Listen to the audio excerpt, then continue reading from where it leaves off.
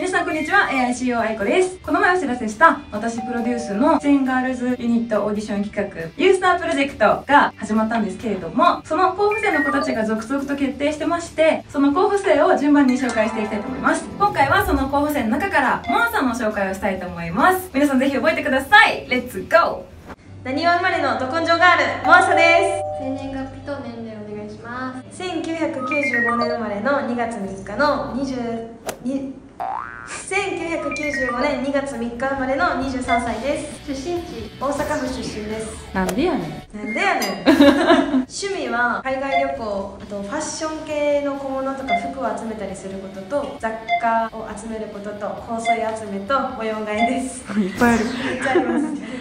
で好きな食べ物はチョコレートですユースタープロジェクトへの参加を決意した理由をお願いします。はい。私が描くビジョンに近くてすごい自分のいいところとか好きなこととかをもっともっと発揮したいなって思って決意しました。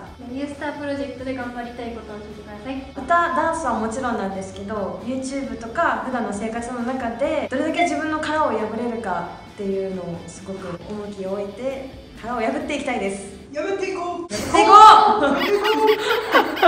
自己アピール。あじゃあ歌っていいですか？おじゃあちょっとサビだけ聞いてください。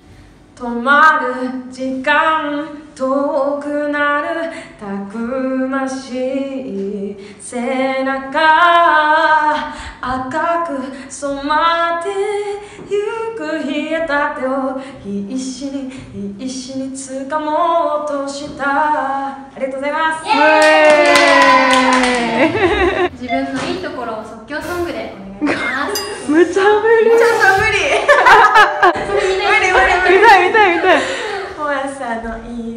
鼻が高い。自分のチャンネルの紹介をお願いします。えっと、私のチャンネルはですねオリジナルソングやカバーソングを歌ってみたりとか自分の苦手なジャンルの k p o p だったりとかを踊ってみたの動画を配信したりとかこれからは好きなものを集めてもう好きなもので埋め尽くしたいなって思ってるのでぜひぜひチャンネル登録よろしくお願いします。もう朝でした